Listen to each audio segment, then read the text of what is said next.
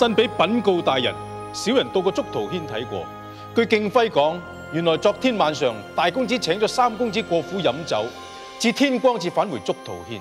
三公子至今仍然宿醉未醒。子桓叫佢，咁子桓知唔知道老夫今早約咗子健相見？據敬輝講，三公子也曾用呢個藉口想推辭大公子，但係性情難卻。佢就同敬輝講話，稍飲數杯就會返回竹桃軒嘅。點知子桓，好，你退下。係大人。三公子，你真係喺度？德祖兄，你嚟得正好，你才智過人，一定可以幫我同福兒諗到一句可以重傳後世嘅佳話嘅。呢個時候仲邊有閒情逸致啊？三公子，大事不妙。楊主簿，你眉頭緊蹙，唔通真係發生咗啲咩大件事？乜世間上仲有事情比我同福兒嘅婚事還要大咩？睇嚟三公子真係未知情。我啱啱接到丞相大人嘅命令，要我上書許都向皇上禀明大公子同埋三公子嘅婚事。係乜？原來大哥都要成親咩？究竟係邊一户嘅皇后小姐啊？會唔會係我哋三兄弟一齊行禮成婚呢？同三公子配婚嘅係崔浮小姐。冇可能噶！子健要娶嘅係福兒啊！殷小姐許配咗俾大公子。三公子，三公子，三公子，三公子！大人，小人阻攔不及，三公子佢。阿爹，崔大人替子健做媒，請阿爹顯媒提親嘅對象係福兒。點解而家同我配婚嘅會係福兒？反而福兒會許配咗俾大哥？子健，為父叫你今早嚟同雀台相見，你點解冇嚟啊？係子健一時放任，宿醉未醒。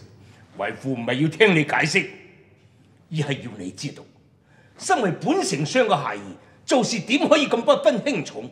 將來點可以擔當大任？難道就係因為子健失約？阿爹你就要以配婚之事作為情詞？子健自知有錯，甘願受罰。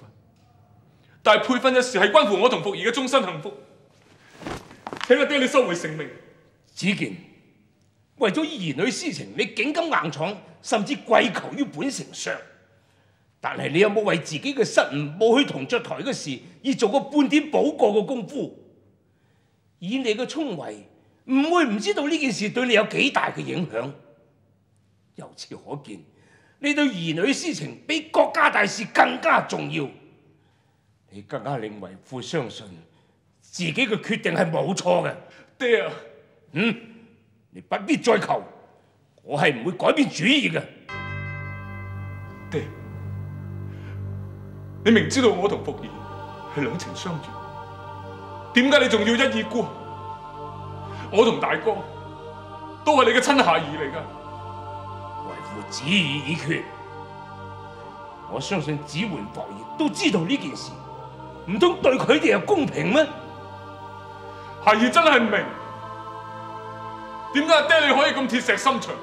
放肆！為父嘅苦心，你唔好好啲去體會，竟敢斥責為父，你你唔配做個曹孟德孩兒。就係因為我係你嘅所以子健會同你一樣，堅持己見，絕不放棄。子健，你為咗兒女私情，竟敢喺為父面前侃侃而談，點解你唔可以將呢份堅毅執着用喺正途之上？